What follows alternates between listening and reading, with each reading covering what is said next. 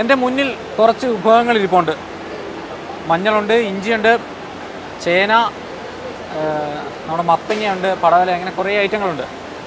ഞാൻ ഇരിക്കുന്നത് ഒരു പച്ചക്കറി കടയിലോ ഒന്നുമല്ല ഒരു സഹകരണ ബാങ്കിന്റെ ഒരു സ്റ്റോളിലാണ്.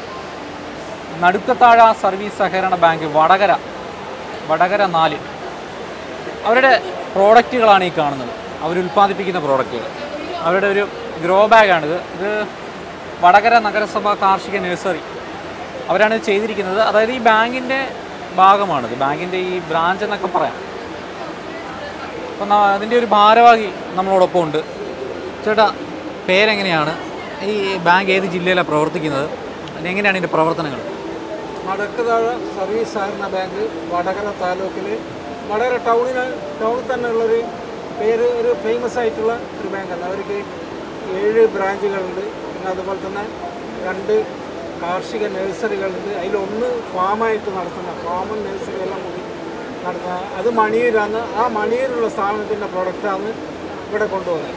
ഇതിൽ ഈ ഫലവൃക്ഷം ഒഴിച്ച് ബാക്കി സാധനവും നമ്മളെ ഫാമിൽ ഉണ്ടാക്കുന്ന സാധനം. ഇത് നമ്മൾ ഓൺ ഗ്രൗണ്ട് സാധനമാണ് ഫലവൃക്ഷങ്ങളൊക്കെ. ബാക്കി എല്ലാ സാധനവും നമ്മൾ മണിയൂരിൽ ഉണ്ടാക്കുന്നതാണ്. മണിയൂർ ഒരു രണ്ടേക്കർ സ്ഥലമുണ്ട്.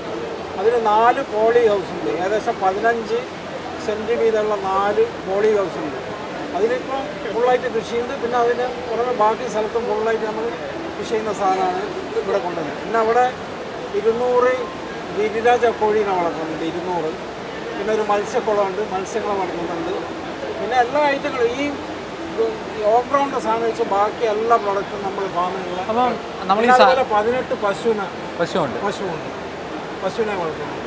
ഈ സഹകരണ ബാങ്ക് എന്ന് കേൾക്കുമ്പോൾ അല്ലെങ്കിൽ സഹകരണ മേഖല എന്ന് കേൾക്കുമ്പോഴേ ഈ നാട്ടുകാർക്കാണെങ്കിൽ ചിട്ടി ലോണ് ഒക്കെയാണ് ആദ്യം മനസ്സിൽ വരുന്നത്. ഇങ്ങനെയൊക്കെയുള്ള സാധനങ്ങൾ കേൾക്കുമ്പം അത്ഭുതമാണ്. അപ്പം നിങ്ങൾ എങ്ങനെയാണ് ഇതിലേക്ക് എത്തിപ്പെടുന്നത്? ഇപ്പം ചേട്ടൻ തന്നെ ഇതൊക്കെ പറയുമ്പോൾ മനസ്സിനൊരു ഭയങ്കര സന്തോഷമൊക്കെയാണ് എങ്ങനെയാണ് ഇതിലേക്ക് വരുന്നത്? അതായത് സഹകരണ ബാങ്കിന്റെ ഉദ്ദേശം തന്നെ പ്രൈമറി ആയിട്ട് സാധാരണയുള്ള കൃഷിക്കാരൊക്കെ സഹായിക്കുക എന്നുള്ള ഉദ്ദേശം തന്നെയാണ് സഹകരണ ബാങ്കിന്റെ അപ്പോൾ നടക്കുക സഹകരണ ബാങ്ക് എന്ന് പറഞ്ഞാൽ പ്രത്യേകിച്ച് അതിന്റെ പ്രസിഡന്റ് ബാബു മാഷ്. പുള്ളിക്ക് കൃഷിയിൽ ഭയങ്കര ഒരു ഒരു ട്രെൻഡാണ് കൃഷി ചെയ്ത ഒരു ഉൽപ്പന്നം. അപ്പോൾ പുള്ളീന്റെ ഒരു പ്രധാനപ്പെട്ട ഒരു താല്പര്യം ഇതിന്റെ പിന്നിലുണ്ട്. പുള്ളി കൃഷി എന്ന് പറയുന്ന എന്റെ ഒരു ഇതാണ് പുള്ളിക്കെല്ലാം ഉണ്ടായിട്ട് ഇങ്ങനെ കാണണം. ഒരു ആ ഒരു താല്പര്യം വന്ന് കൂടുതലൊരു പ്രചോദനമായിട്ട് വന്നു പിന്നെ അതിലെ ഡയറക്ടേഴ്സും എല്ലാം ഒരു കൃഷിയുമായിട്ട് ബന്ധപ്പെട്ട് ചെയ്യുന്ന ആൾക്കാർ അപ്പോൾ കൃഷിയിൽ കൂടുതൽ ഇറങ്ങണം എന്നുള്ളൊരു താല്പര്യത്തിന്റെ പേരിലാണ് ഇതിലേക്ക് ആദ്യം ഒരു അൻപത് സെന്റുള്ള ഒരു നഴ്സറി മാത്രമായിരുന്നു. അത് വടകര നഗരസഭയുടെ കീഴിലുള്ള ഒരു നഴ്സറി സ്റ്റാർട്ട് ചെയ്തു. അവിടെ നിന്നാണ് പിന്നെയാണ് നമ്മളെ ഈ ഫാമിലേക്ക് വരുന്നത്. എന്തൊക്കെ കൃഷിയുണ്ട് അവിടെ? എന്തൊക്കെ കൃഷിയുണ്ട്? ഇതെല്ലാം ഇവിടെ തന്നെ. പച്ചക്കറി കൃഷിയുണ്ട് ഇപ്പോൾ ഞാൻ പറഞ്ഞില്ല നാല് കോളി ഹൗസ് ഉണ്ട്. ഒന്നിന് പച്ചമുളകാണ് ഒന്നിൽ ക്യാബേജ് കോളിഫ്ലവർ. പിന്നെ ഒന്നിൽ പയർ പിന്നെ പിന്നെ ഒന്നിൽ ചെറിയ ചീരകളും അങ്ങനത്തെ അപ്പോൾ എങ്ങനെയാണ് ഇതിന്റെ ഒരു വിപണി കണ്ടെത്തുന്നത്? വിപണി എന്ന് പറഞ്ഞാൽ നമ്മൾ ചിലപ്പം ബൾക്കായിട്ടുള്ള പ്രൊഡക്ഷൻ ഉണ്ടാവും സാധാരണ നമ്മൾ ആ സെന്ററിൽ വെച്ചാണ് മണിയൂർ അതിന്റെ പ്രത്യേക കൗണ്ടറുകളുണ്ട് മണിയൂർ നഴ്സറിയിൽ അവിടെ നിന്ന് തന്നെ പോകും. അപ്പോൾ ബൾക്കായിട്ട് വന്നാൽ ചിലപ്പോൾ നമുക്ക് തോന്നും ഇത് പോകത്തില്ല എന്ന് ചിലവാന്ന് തോന്നിയാൽ നമ്മളെന്ത് ചെയ്യും? അതിന്റെ അടുത്തൊരു സ്ഥലമുണ്ട്. തുറശ്ശേരി മുക്ക് എന്ന് പറഞ്ഞൊരു സ്ഥലമുണ്ട് നമ്മളെ. ഒരു കേന്ദ്രമാണ്.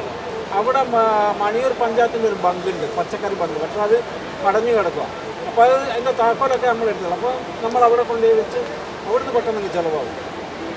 അപ്പോൾ ആ രീതിയിലാണ് പോകുന്നത്. എത്ര വർഷം പഴക്കമുണ്ടെന്നാണ് പറഞ്ഞത് ഈ സ്ഥാപനത്തിന്? ഇപ്പോൾ ഒരു എട്ട് എട്ട് വർഷം എട്ട് വർഷം. എത്രത്തോളം ജീവനക്കാരുണ്ട്? അവിടെ ഇപ്പോൾ ഫാമിൽ ആറ് ജീവനക്കാരുണ്ട് രണ്ടാൾ പശുവിന് മാത്രം തന്നെ. ഉണ്ട്. അതെങ്ങനെ? അതെങ്ങനെ വീടുകളിൽ കൊണ്ട് കൊടുക്കുമോ ഇല്ല അവിടെ തന്നെ കൗണ്ടറുണ്ട് ഫാമിൽ തന്നെ കൗണ്ടറുണ്ട് ഇവിടെ ഇഷ്ടംമാർക്ക് ആൾക്കാർ വരും ദൂര സ്ഥലത്തു നിന്നെല്ലാം ആൾ വന്ന് വാങ്ങിച്ചു